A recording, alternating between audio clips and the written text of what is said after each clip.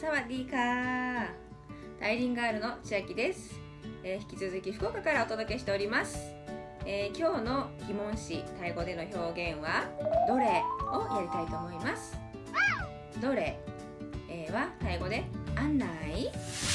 案内になります、えー今まで何？洗いどこ？ティーナイ、えー誰？くらい、えーいつムアライそして今日のどれは案内、えーどれもね非常に似てますよね。ない。っていうのは基本的にタイ語でよく使う、えー疑問詞の表現になります。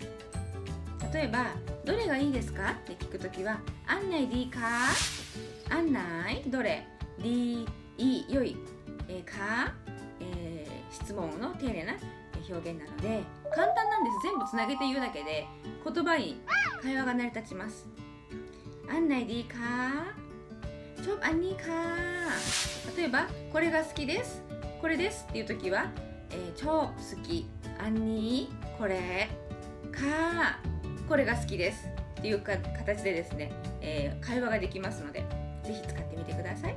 今日の表現はどれ？案内。りがとうございました。ポップンカー。